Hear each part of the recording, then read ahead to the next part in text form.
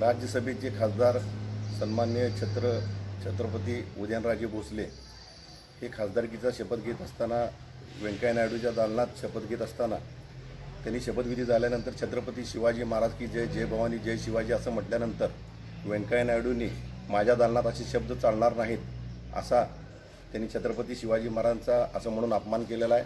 हा अपमान छत्रपती शिवाजी महाराज प्रेमी आम्ही कदापि सहन करणार नाही. एक प्रचंड लाट व्यंकय्या नायडू आणि भारतीय जनता पार्टीबद्दल आहे. मी सोलापूर जिल्हा शिवसेनेतर्फे एक आग्रहाचं निवेदन करतो की व्यंकय्या नायडूंचा राजीनामा मान्य राष्ट्रपतींनी ताबडतोब घ्यायला पाहिजे. ह्याच्यापुढं कुठला पक्ष कुठली व्यक्ती कुठला समूह छत्रपती शिवाजी महाराजचा अपमान करत असेल तो आम्ही शिवसेना म्हणून कदापि सहन करणार नाही हे निश्चित सांगतो. आणि आता लॉकडाऊन आहे नाहीतर आम्ही प्रचंड प्रमाणात ह्याच्या विरुद्ध नि निदर्शने आणि आंदोलन करणार आहोत. ज्या नरेंद्र मोदींनी छत्रपती के आशीर्वाद नरेंद्र मोदी के साथ म्हणून सत्ता आणली त्याच त्या दालनात छत्रपती शिवाजी महाराजचा अपमान होतो हे दुर्दैव आहे. नरेंद्र मोदींनी सुद्धा व्यंकय्या नायडू यांचा राजीनामा घ्यायला पाहिजे. राष्ट्रपतींनी सुद्धा व्यंकय्या नायडूचा राजीनामा घ्यायला पाहिजे.